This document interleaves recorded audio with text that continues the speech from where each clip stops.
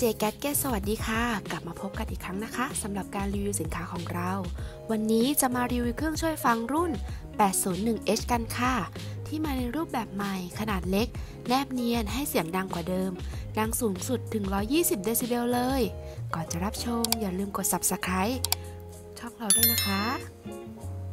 โดยรุ่นนี้มีน้ำหนักเพียง 10 กรัมเท่านั้น เทียบกับเท่าเหรียญบาทเองค่ะเบาๆกันไปเลยนะคะ แพ็กเกจในกล่องนี้มีอะไรบ้างไปดูกันเลยดีกว่าค่ะ เครื่องช่วยฟัง ฐานกระดุม A10 ไม้ปรับระดับเสียง แปรงทำความสะอาด จุกยางรองหู 3 ขนาด เครื่องช่วยฟังรุ่นนี้ถูกออกแบบมาให้ใส่ได้ง่าย ใส่ได้ทุกเพศทุกวัย สามารถใส่ทำกิจกรรมต่างๆ ได้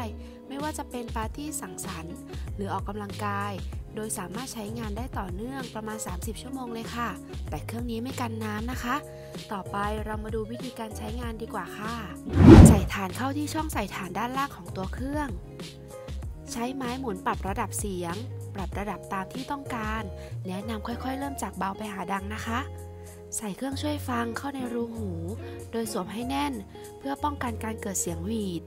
หากไม่ใช้งานแล้วให้ถอดฐานออกทุกครั้ง เพื่อยืดอายุการใช้งานของฐานค่ะ เป็นยังไงกันบ้างคะสำหรับการรีวิวเครื่องช่วยฟังรุ่น 801H ของเราในวันนี้ ตัวเล็ก ใส่สบาย ให้เสียงดัง ที่สำคัญราคาถูกมากๆด้วยค่ะ หวังว่าทุกคนคงชอบสินค้าในวันนี้นะคะ หากทุกคนสนใจสินค้าสามารถสั่งซื้อได้ที่ลิงก์ใต้คลิปด้านล่างนี้เลยค่ะใครเคยใช้รุ่นนี้หรือใช้รุ่นไหนอยู่ สามารถแชร์ในคอมเมนต์ได้เลยค่ะ เดี๋ยวจะอ่านและรีบตอบนะคะ อย่าลืมกด subscribe กดแจ้งเตือนกระดิ่ง